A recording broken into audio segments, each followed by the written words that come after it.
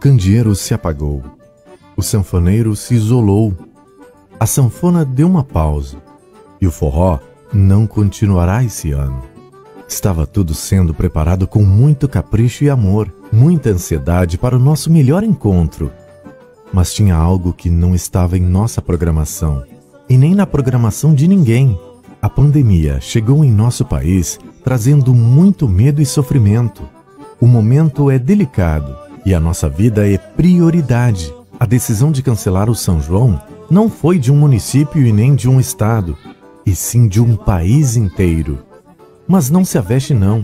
Afinal de contas, isso não é um tchau, e sim um até mais. Ano que vem o candeeiro se acenderá e um dos melhores São João da Bahia continuará. Enquanto isso, fiquem em casa.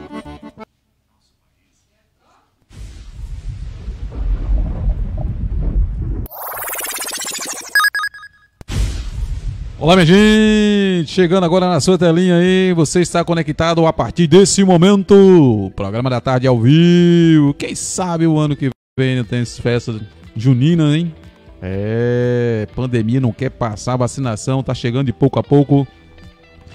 Vamos falar aqui para vocês que chegou agora, você acompanha a gente no seu smartphone, celular aí, hein? Eita, programa da tarde ao vivo.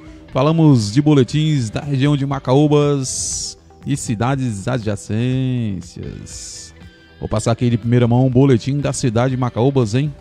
Para você que chegou agora, você pode deixar seu recadinho aí. Logo no final nós vamos ver ele para você, minha gente. Mudando de tela aqui, deixa sintonizar aqui. Eita, boletim de Macaúbas acabou de sair. Quantidade de casos ainda estão parados aí, ó, na faixa etária de 40 na direção da orelha aí, ó. 40 casos ativos, quer dizer, 40 pessoas com vírus no município de Macaúbas. Boletim de hoje.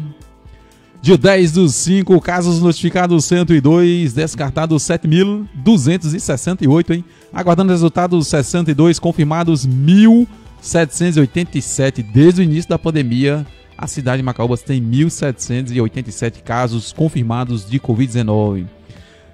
Laboratório 544, teste rápido 1243, casos ativos no município 40. Uma pessoa internada, ocupação de leitos 20% e duas pessoas transferidas. Casos curados 1732, óbitos 13 e óbitos por outra causa, duas pessoas. Hoje somou aí mais três casos de Covid-19 no município de Macaúbas. Passando agora para outra cidade vizinha, minha gente. Pessoal sempre pede aí a cidade de Boquira, Bahia. Boletim de hoje, dia.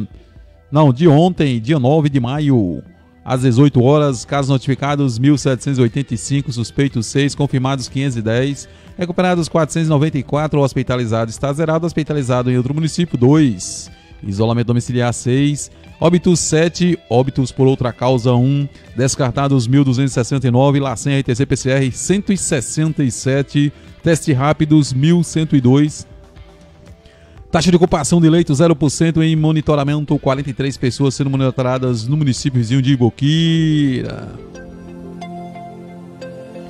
Passando agora para outro município, agora é o de Botuporã, que segue aí sempre mantendo o controle dos casos de Covid-19 sempre bem controlados. É o único município do Vale do Paramirim que controla bem aí os casos ativos, casos de Covid-19. Faz um trabalho excepcional aí a Prefeitura Municipal de Botuporã, juntamente com a Secretaria Municipal de Saúde. Parabéns a todos vocês aí que sempre realizam esse ótimo trabalho.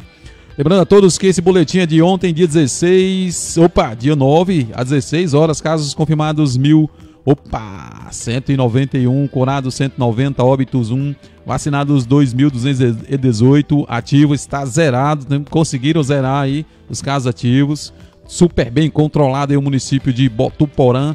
Domiciliar zerado, internados também, transferidos também, zero. Notificados 790, descartados 597, aguardando resultados duas pessoas, minha gente. Bem controlado lá em Botuporã. Cidade vizinha agora é de Rio do Pires. Boletim na sua telinha aí, boletim atualizado às 15 horas e 20 minutos. Hoje, coronavírus Covid-19, Rio do Pires, Bahia, casos suspeitos notificados 708. Descartados 495, aguardando os resultados, está zerado. Casos confirmados 213. Três pessoas doentes em Rio do Pires com o vírus Covid. Casos confirmados 30, RTC-PCR, teste rápido 175, confirmados em sorologia 8, hospitalizados, zerado, curados 204, isolamento domiciliar 3 pessoas, óbitos 6, óbitos por outra causa 1 e óbitos em investigação está zerado. Boletim da cidade de Rio do Pires, Bahia. Outro boletim da região é o de Paramirim de ontem. Casos suspeitos descartados 768 em análise 5, isolado 5, hospitalizado. Casos confirmados total 641, ativos 7, curados 617, óbitos subiu para 17. Casos confirmados ativos 6 e hospitalizado agora 1. Nas últimas 24 horas, casos confirmados está zerado, curados também e óbitos também. Nas últimas 24 horas, hein? Esse é o boletim da cidade de Paramirim, Bahia, minha gente. Boletim da cidade vizinha Paramirim, da cidade de Érico Cardoso. Boletim de ontem, dia 9 do 5. Casos notificados 949. Descartados 711, confirmados 238, suspeitos 0.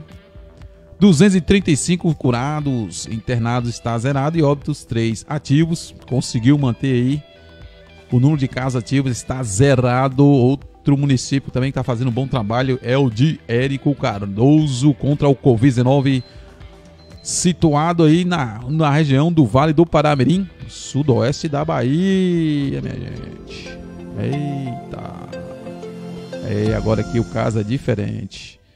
Boletim da região Serrana, esse é do município de Riacho de Santana. Boletim de, de dia 9 às 19 horas e 30 minutos. Testes realizados 3.820, confirmados 1.416. 949 por teste rápido e 949 teste LACEN e 467 por teste rápido. Ativos 83 pessoas doentes no município com vírus Covid. No município vizinho que faz divisa com Macaúbas, Riacho de Santana. Em análise 33, negativos 2.371. Recuperados 1.302, hospitalizados 14 pessoas hospitalizadas, hein? sendo 12 no município e 2 em outros municípios. Casos monitorados 116, óbitos 31. A cidadezinha é pequena e tem 31 óbitos já. E 83 casos ativos, 83 pessoas com vírus no município de Riacho de Santana. Todo cuidado aí é pouco. Aí tem um alerta vermelho, hein? Alerta vermelho aí para o município de Riacho de Santana contra o Covid-19, coronavírus, o novo coronavírus. Bicho tá pegando. Passando agora para a Bahia. Vamos ver o número de vacinados, acompanhamento da cobertura vacinal da Covid-19 na Bahia. Total de doses de vacina distribuídas, primeira dose, 3 milhões 204.742. Agora, segunda dose de vacina aplicadas, primeira dose. Total, 2 milhões 728.059 doses. Percentual de doses aplicadas, primeira dose 85,1% e segunda dose 90,9%. E o total de vacinados na Bahia, é de 2.728.059. Tem mais de 15 milhões de habitantes na Bahia e está muito longe de chegar a essa meta de vacinados, hein? Muito longe mesmo, minha gente. Passando agora para a cobertura.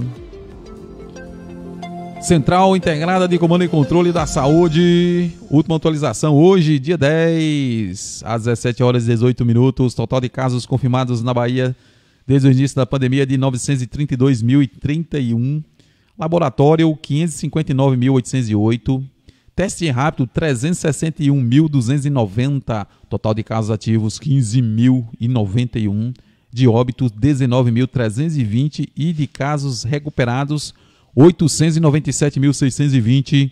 É importante falar também da taxa de ocupação de leitos em, no território baiano, enfermaria adulto, total de vagas 1.772, ocupados 1.109.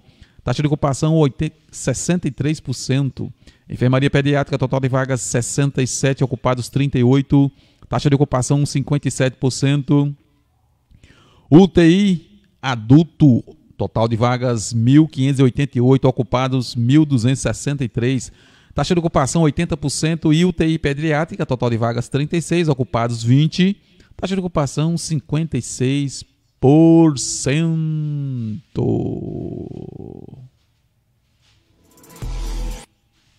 Eita, nós.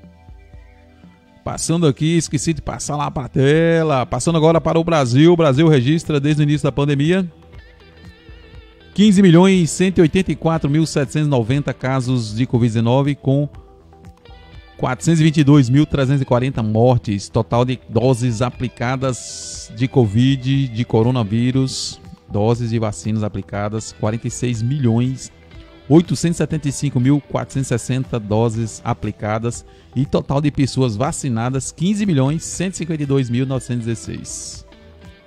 Vamos conferindo aqui, você que chegou agora, você está acompanhando junto com a gente o programa da tarde ao vivo, deixe seu recadinho e logo abaixo que nós vamos ler lá no final do programa para você. No mundo nós temos 156 milhões 77 mil 747 casos de Covid-19 desde o início da pandemia, com 3 milhões 256 mil 34 mortes no mundo. No Brasil, a taxa maior de crescimento é em São Paulo, 3 milhões e 3 mil e 66 casos de Covid-19 desde o início da pandemia, com 100 mil mortos, mais de 100 mil mortos. Ultrapassou os 100 mil mortos, está em 100.799. Nossa Senhora. Só Deus na causa, minha gente.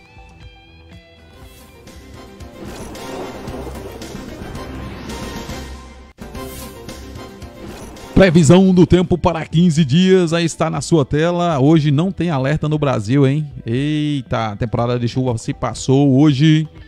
Sol com algumas nuvens não chove. Temperatura máxima 30 graus, mínima 15. E o friozão chegou, hein? Hoje amanheceu aí o tempo frio, clima de São João chegou, pintou na Bahia, em Macaúbas não é diferente. Temperatura baixou aí, minha gente. Bateu aquele vento frio e contínuo do São João que está se aproximando. Amanhã, dia 11, 12, 13 e 14, sol com algumas nuvens, não chove.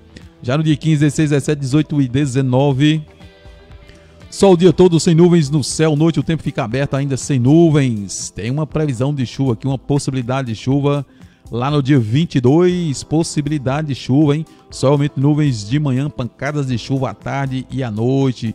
No dia 20 e 21, sol o dia todo sem nuvens no céu, noite o tempo fica aberto ainda sem nuvens. E no dia 22, hein? Falei aí, previsão de chuva dia 22. Aqui na cidade de Macaúbas, dia 23 e 24, sol o dia todo sem nuvens no céu, noite o tempo fica aberto, sem nuvens, temperatura máxima 29, mínima 18 graus. Finalizando aqui hoje, programa da tarde. Eita. Vamos ver os comentários aqui do pessoal que sempre acompanha junto com a gente. Hoje nós estamos com Lucas Silva, Raimundo Rodrigues, boa noite, primo, José Rod Roque, boa noite a todos. Pedro Alves, boa noite. Janil está assistindo de São Paulo, bairro do Limão, Zona Norte, ACP. Abraço a todos, a vocês, todos. Socorro Costa, boa noite, querido amigo. Deus Jesus, boa noite. Cal Silva, boa noite. Márcia Santos. Boa noite, pessoal. Quero que todos os pensamentos de cura se tornem realidade. Nelson Oliveira, boa noite, meus caros amigos de Macaúbas. Abraço a todos. Vanessa Ramos, boa noite, Janilton. Uma ótima semana para todos nós. Que Deus nos abençoe e nos protege sempre. Pedro Souza, boa noite, parabéns. Pedro A. Santos Neto, boa noite, Janilton. Estou acompanhando daqui de Suzano, São Paulo. Abraço a todos, abraço a todos da família Nogueira do Açude. Pedro Souza, boa noite, SP. Edmilson Costa, Edmilson Carlos. Macaúbas, estou voltando em junho para para Tabuleirinho e Cedro. Pedro Alves, Janilton Rego, abraço à família Propécio aí de Macaúbas, abraço. Gente, bom início de semana a todos. Fiquem com Deus. Muito obrigado pela audiência e a paciência. Estou ficando por aqui. Amanhã a gente volta no programa da tarde. A todos. Tchau, tchau.